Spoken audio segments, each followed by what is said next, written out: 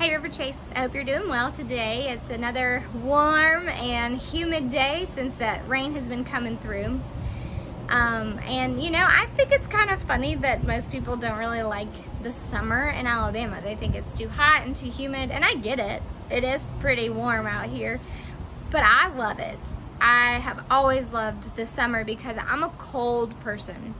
Even in the summer when it's like 100 degrees outside, I'm going to always have a jacket with me to go to the movies, to go to dinner, to go to church, because I know that I will always be cold inside.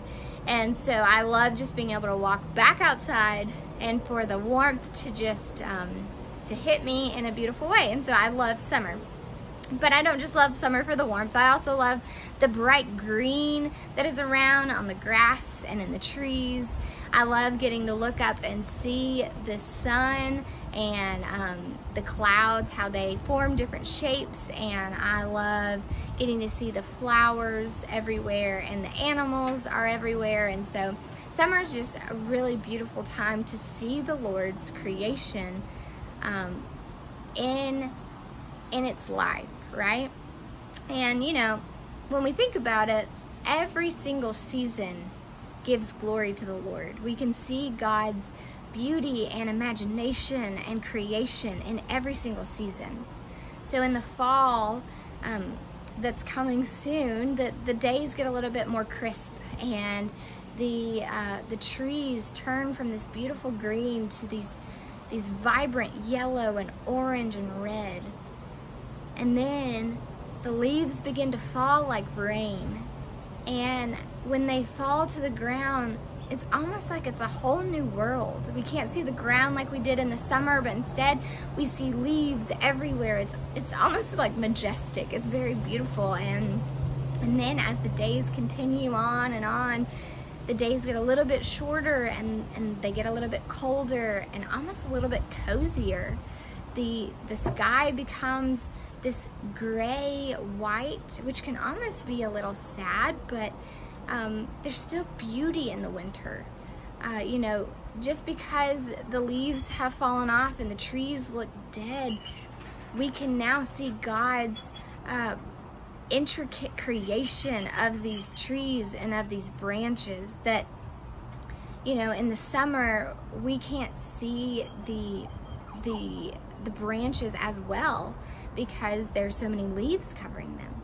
But in the winter, when the leaves have fallen off, we get to see how the Lord wove those branches together and how he created each tree uniquely. And then sometimes in Alabama, we get to see the beauty of snowfall. We get to see the white flakes fall to the ground and um, create a winter wonderland. And, um, you know, oftentimes in winter, like in summer, people get really tired of those days very fast. You know, in summer it gets hot and, and gross, and then in the in the winter it gets really cold and gloomy. And so we long for the day, and the day always comes when the hope of spring arrives.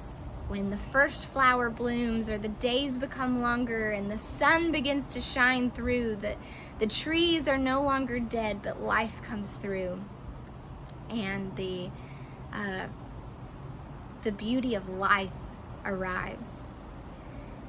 And these seasons and how God um, shows his creation and, and his imagination in every single season also gives us so much hope that God is faithful to his promise. You know, God promised that he would keep the seasons, and he has spring, summer, fall, winter. It continues on and on. And God has been faithful so that we can eat the food that we need and, and be protected from the weather. And spring always gives me so much hope because just like the the leaves coming back and the, and the flowers coming back remind us that the death of the tree is not final. So too, death on this earth is not the final word. You know, God has brought us life. Yes, there's death in this world. We've got COVID right now, we've got cancer, people are growing older, and so death is very daunting. But it is not the final word because our God has brought us life. And just like the sky, the gloomy, white, gray sky can never hold back the sun forever, so too the darkness and the brokenness of this world will never overpower our King. That Jesus Christ, the very Son of God, will shine bright and will shine brighter than our sun ever could.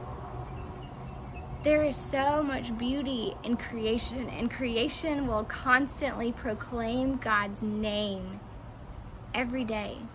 We only have to look up and see it.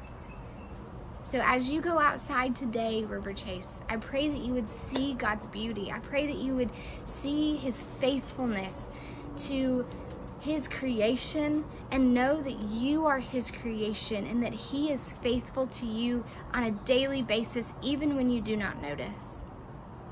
I don't I don't know about you, but I don't always look at the trees and think about God's goodness. But when I am reminded of these things and I see how he is good to his creation, to to to the world, to to the earth, I am then reminded that he created us intimately. And so if God is is is faithful to the earth, God is going to be faithful to us. So as you go out today, Riverchase, I pray that you would see God's goodness, that you would hear his love for you, and that you would learn to proclaim God's praise as the trees and the grass and the flowers proclaim God's praise. I love you, Riverchase. I hope you have a great day.